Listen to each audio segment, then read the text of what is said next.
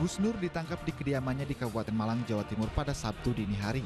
Ia ditangkap oleh Baris Krim Polri atas laporan PWNU Cirebon atas dugaan penghinaan dan ujaran kebencian terhadap Nahdlatul Ulama. Polisi yang datang langsung menggeledah rumah Gus Nur untuk mencari barang bukti tambahan. Saat ditangkap, Gus Nur yang didampingi keluarga mengaku sudah memperkirakan bahwa ucapannya dalam podcast bersama Refli Harun akan membawa ke jalur hukum.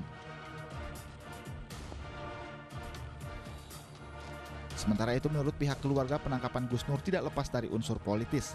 Anak Gus Nur menyebut perkataan ayahnya dengan kasus yang hampir serupa pernah tiga kali dilaporkan.